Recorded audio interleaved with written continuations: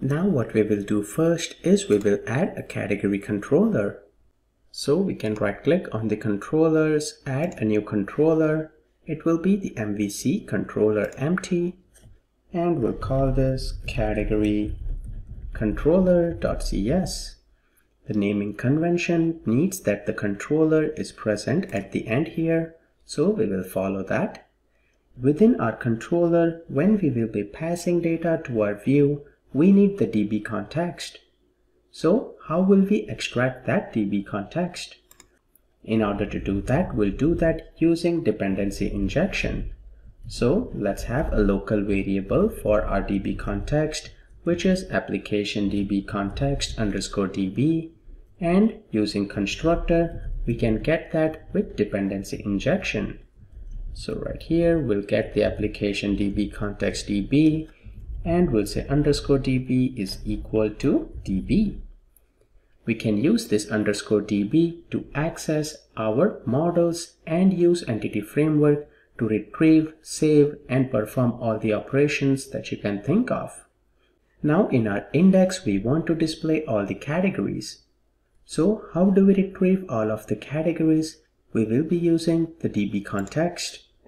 So right here, we will retrieve list of category and we'll call this obj list is equal to, as I said, we'll be using underscore db.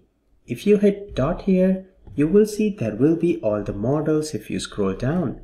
Right here, we have all the models that we added inside our application DB context. I will be using categories for now.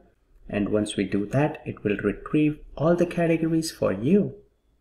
But you can see we have to do a conversion here to list since we are storing it in a list and not an enumerable. So this is all you have to write to retrieve all of the categories from the database and store it in a list. You can see how simplified it is. Once you get that in the list here, we'll pass that to the view and we can display that. Let's do that. So now next thing we have to do is we have to add the view. So we can right click on index and add the view. It will be the razor view empty. Let's add this and we'll keep the same name we'll keep the name as index razor view empty. Let's add this. For the view code, rather than typing everything, I have provided the snippets so that we can not focus on the ASP.NET Core aspect and rather focus on Entity Framework. So if you go to the assets here, you can find all of the resources on Bhrugen.com by navigating to project and there you can download all the resources. So in section 5, the first thing we have is category index view. Let's open this up. And in here, let me copy this, close this, and paste it right here. This looks good. We are expecting a model of a list or an enumerable of category, and that is what we are passing from here. Let me save this and we'll make one last change that is inside views. We have shared view, we have the master page here. Let's add the link for all the pages here. We will not have too many of them, but let me do the changes. We don't want the home, so rather than home, let's change this to category controller and index action. Let's call this category. What I will do is I'll copy this and paste this three more times. We'll remove the last one for privacy. Next here, I'll add the publisher, I'll add the author, and I will add the book itself. We'll change the display here. Perfect. Let's run our application and take a look at category.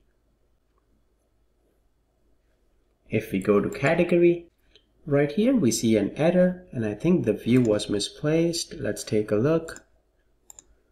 Well, the view got added in controller and I think this is because right now they are messing things around with how scaffolding works when you add a new view. So we need to create a new folder here or rather let me do one thing. We'll go to the controller, right click, add view. I think since it's in preview right now we have these two options but let's go with the razor view here once you do that, let's add this this should create a new folder in the views and then it should add the index in there. Let's take a look.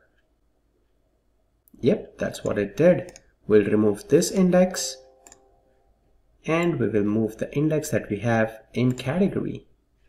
That should do the trick. Let's run this. Let's go to category and we should see list of categories.